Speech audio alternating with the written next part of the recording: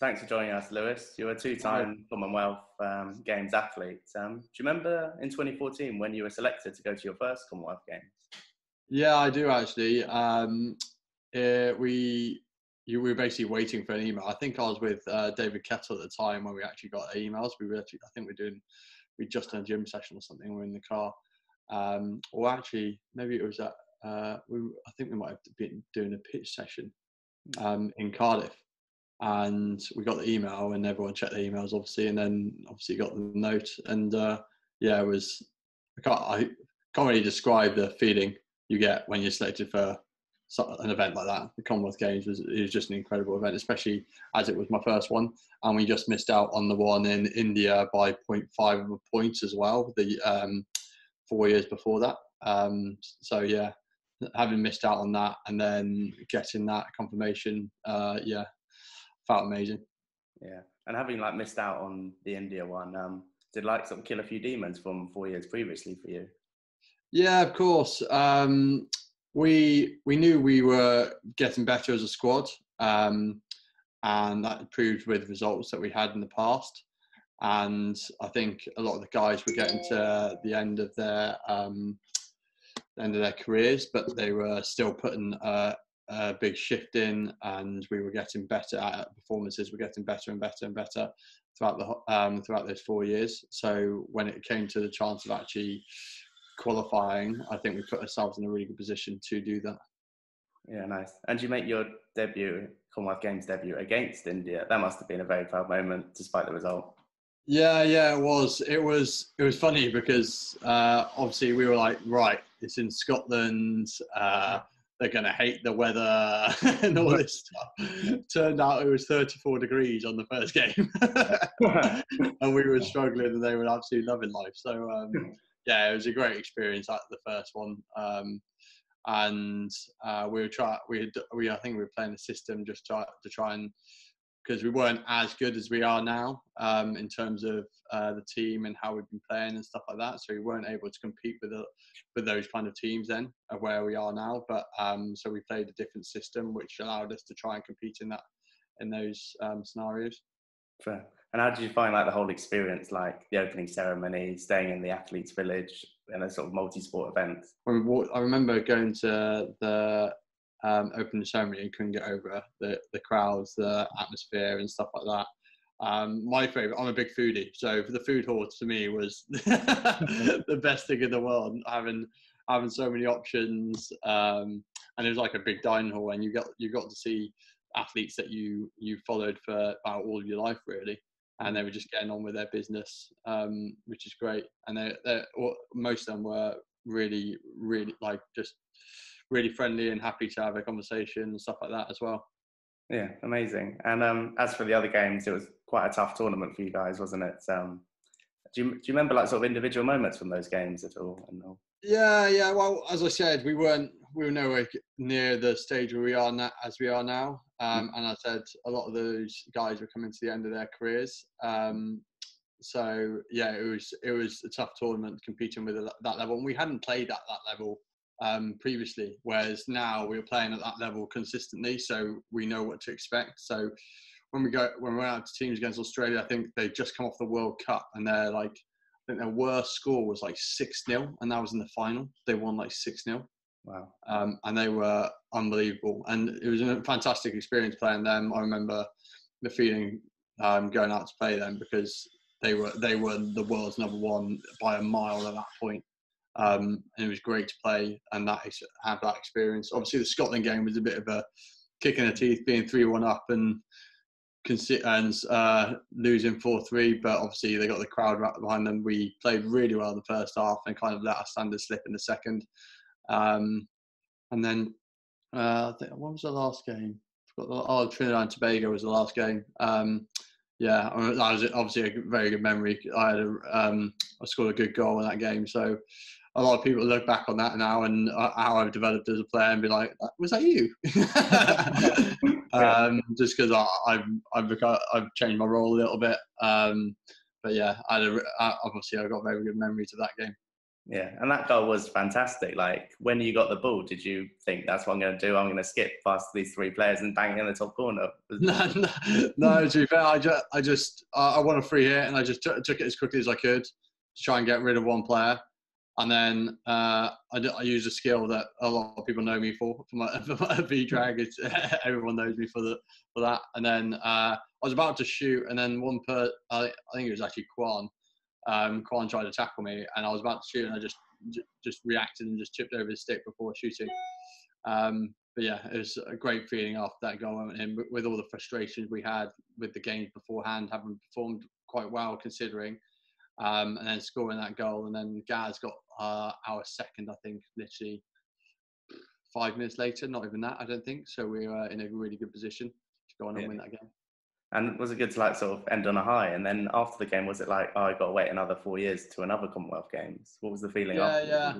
yeah. Um, obviously, good to end on a high, and with, with, a group of guys who were retiring as well. Um, it was great for them to end the way we did. And then obviously the closing ceremony and stuff like that. I don't think I didn't really think about the for like not being able to experience it in four years. I just was trying to take every moment as it came, and the closing ceremony was was amazing.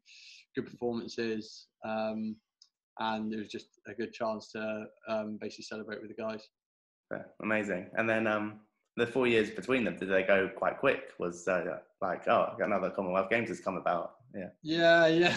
Well, obviously we had a big shift in team after that. So a lot of youngsters came in who were on the brinks beforehand. Um, and we played. We had been relegated the year before from the B division in the Europeans to the C division, so it was basically a completely fresh start.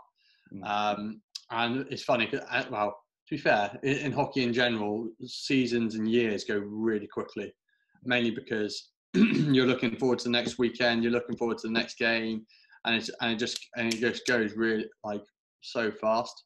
Um, and obviously, as, as you get older, funnily enough, time, time goes pretty quick as well. Um, but yeah, we had a big shift in team that year. We played really well. Um, obviously, the standard wasn't as high because we were in the C division, but we did what we needed to do. You, uh, international hockey is never easy, uh, no matter who you're playing against.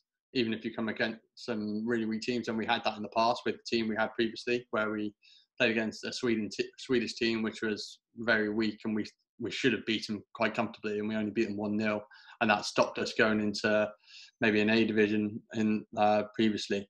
So um, we knew well because it was uh, a younger team. I knew what like what we had to do, and you couldn't take anything for granted. Um, so we played in that C division this year. I actually got food poisoning in the C division when that year. That uh, I don't have very good memories of that. yeah. of that uh, tournament. I got a food poisoning. I think it was on the the day before we played our first game. Okay. So we had, I think we had four or five games in, I think was a week, maybe. And I got food poisoning, and all I did was stay in bed, get up, play the game, go back to bed, get up, play the game, go back to bed. um, throughout the whole week. So I didn't really have very good memories of that of that uh, of that tournament. But we did what we had to do. We got promoted to the B division that year, and then since then we've just kept improving and kept. Um, and the big thing is keeping the squad together. We've had a group of guys now that have been together. I don't know six, yes, maybe six years, five six years now. Yeah. And I just think that shows in results. Um, and I'll say it time and time again, the Welsh group at the moment is the closest group of players I've ever been involved in. And was it as proud a moment get being selected and going to the um, Commonwealth Games as it was in 2014 for you? Oh yeah, hundred um, percent. I I never take anything for granted, and I think the older you get, you kind of do that. Um, you kind of look at things as an experience, pretty much everything. Um, and I'm always a guy who's willing to learn off every situation. So um, when I did get that confirmation that I was going, uh, I, and obviously no matter what you say, it being in the Gold Coast is huge. Um, going into the other side of the world, that that climate, I've never been. I've been to Australia. I went to Sydney with the Youth Olympics in 2009, but I hadn't been back since. Um, and the fact that it was in the Gold Coast was just a just a completely different experience that like everyone was really looking forward to. Yeah, and um, the opening ceremony, what was that like at um, 2018? I've seen the pictures of you all in your your shirts. Like that must have been amazing. It was a great experience. Again, as I said, it's the closest group of guys I've ever been involved with. So it was uh, fantastic to experience that with them. Hmm. Um, experience the like just the atmosphere and stuff like that. And then when when you're actually there, you get to um, experience the opening ceremony for what it is. Again, food hall for me was a was a highlight. Yeah. Um, but yeah, it was a, it was a great experience. Yeah, fair. I was interviewing a few of the women's team, and they enjoyed the food hall uh, in 2018 as well. Like, what was so good about it? Just the options. Uh, well, I um, well, I'm a nutritionist, just generally, so I, I love I love my food, and they just had loads of different options. They have pretty much uh, options to cater for anyone. Having suffered from food poisoning previously at um, a hockey tournament, were you a bit cautious maybe about trying other stuff, or? No, I wasn't. But funny you ask. Uh, so after the England game, I think I got a heat stroke uh, badly. Um, so uh, we went down to I think the England game, we went down to nine players at one point for a good five or six minutes. Um, and I looked at my stats after, and I ran. I think I ran like a kilometre and a half um, more than like the previous games, and I was on for much longer periods. And I remember after I spoke to my parents who were there, who came to support. I was like, I'm really not feeling that great. I, don't know, I don't know what it is. I'm just not feeling that great. I had some food because it was a later game, so I had some food later on. I felt a bit better, but then I woke up in the night with uh, not the greatest stomach in the world. So I had to let the doctors know. And because of the norovirus, they actually wanted they they quarantined me straight away. Really? So yeah, um, I knew I was it was heat stroke. I just basically wrote myself off in the game by running too much. And um, having like had that experience of having to like isolate, you sort of like reminisce about it during like lockdown here? Well, my I, I've, people have been talking about me my isolation. I I average I was I was very lucky. Um, we had a really nice outdoor space in the flat. I've actually just moved to Fulham, but I was in Surbiton before. We had a really nice outdoor space. We had a lot of gym equipment. Um, obviously, I, I, work at school, so the schools were uh, furloughed me, so I didn't have the money issues that some people had and jobs insecurities that some people had, which is fantastic. Um, and I was able to do my gym sessions. I, I borrowed a, um, a turbo trainer off my half brother, um, and I was able to do bike sessions and stuff like that. So I, I was very blessed that I lockdown for me wasn't as bad as as it could have been for some people. Yeah, fair enough. And going back to the Commonwealth Games in 2018, it sort of uh, results wise was it sort of similar to 2014 yeah well it was but it was very it was a very different feeling um, mainly because we were competing with these teams we yeah. were like push it wasn't just uh, sit back defend try and get them on the counter attack it was you're going toe to toe with pretty much every team you're playing against yeah um, and which is again because of how we've developed and how the experience we've had playing those teams um, previously and throughout the whole year, leading throughout the whole few years leading up to it, we knew we could compete with them. Um, but again, if you don't play that level consistently over a long period of time, you don't learn how to win those kind of tight games. And we were at a stage at that point in our, in our development where we were getting this close, but we didn't know how to basically manage games to right make sure we won the, the games at, at the end um, which we saw by results. But and then we put in a really good, well, pretty much every performance was a very good performance. Bar probably Malaysia. Malaysia, we didn't really set our standards high enough. But apart from that, I think performance-wise, we actually played really well. Um, just a couple of moments that cost us, and yeah. then against South Africa, we put in another good performance and uh, and we saw it through. Yeah, awesome. And um, looking ahead to Birmingham 2020, does it still at uh, Birmingham 2022 rather? And um, yeah. Does it still feel like sort of far away or? No, it's going to come back. It's going to come around really quick. I know that. Um, mm. Obviously, next year is pretty much upon us already, and this year's been a bit of a write-off. To be to be honest, I don't. I can't remember the lot. Like, I don't think I've not played hockey for this long in my whole career. Yeah. So uh, I broke my foot actually last September, um, which was my first touch wood. My first injury since since I was 14. So um, it was my first bad injury. So I didn't play hockey basically all September till December. Yeah. And then I got back into it in January, and I, st- I only started really getting back into how I was playing around Feb March. Mm. And then, uh, yeah, lockdown happened, and we had a lot of test matches lined up this this summer, which we were really looking forward to. Um, but unfortunately, that's, uh, it just came at the wrong time. Um, so now, obviously, with Danny coming in as head coach, we're really looking forward to. Obviously, really pleased with Zach. Zach's done such an amazing job, and um, but I'm really pleased for Danny to come into the head coaching role. Everyone knows him. He knows exactly what we need as a group. Um, we've actually already discussed what we're doing um, coming like with the uh, training and stuff coming up. We've got a Zoom call with him next week, uh, me, me, or me and the other captains, which will be really good. Um, and obviously, we'll be looking forward to the Euros next year. That will come so quickly. Obviously, lot um, Corona dependent because uh, you know you don't know what's going on with uh, COVID dependent. You don't know what's going on really at the moment. Mm. But um, that will come really quickly, and then it's one more year.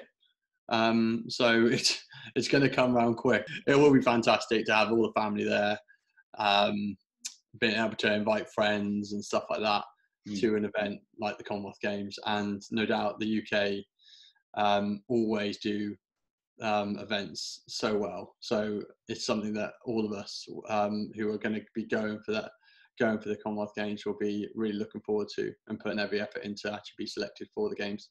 And Birmingham's obviously a bit more local for like family and friends for, for you to all go. Yeah, it will be really nice. Um, I I've got um, obviously I've got my family who my my parents, my dad used to play for Wales and GB. Yeah. Um, so he's been always well, all my family have been my biggest supporters, but he's always he's contacting me with every bit of news possible under the sun if I just in case I've missed it. he's a he's an avid hockey supporter, hmm. um, and he's always at every game. Um, no, like he's he hasn't been uh, great uh, recently, but he's put in every effort to be at every game possible, which is which is the sport I love, and hopefully he'll be able to come see me at uh, Birmingham as well with the rest yeah. of the family. Absolutely, that'd be nice. And um, having had like two sort of ninth place finishes at your last two uh, Commonwealth Games in your sort of third hat trick one, is that uh, ambition to go further than that?